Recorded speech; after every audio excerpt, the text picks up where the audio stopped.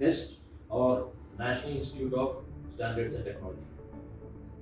This is a US government department and their role is to develop all the relevant security standards for all US federal government departments. So US federal government departments they have to implement security as a part of different legal and regulatory requirements. And to implement security uh, US federal government departments, security documentations are required in any area of security.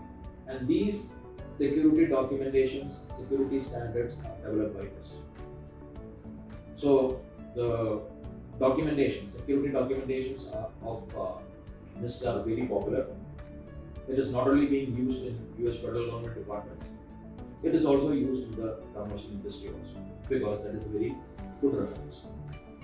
So any cyber security professional or information security professional, they have to be aware of NIST and its documentations. So the purpose of this reel was a brief introduction to NIST as an organization and uh, their relevance in the area of cybersecurity or information security. So hope you have under- understood the concepts.